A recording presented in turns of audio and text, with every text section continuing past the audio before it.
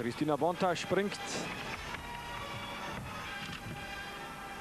Jochenko, ganze Drehung, Probleme mit dem ersten Sprung, aber beim zweiten, da lässt sie dann alle Sorgen hinter sich, 9,887.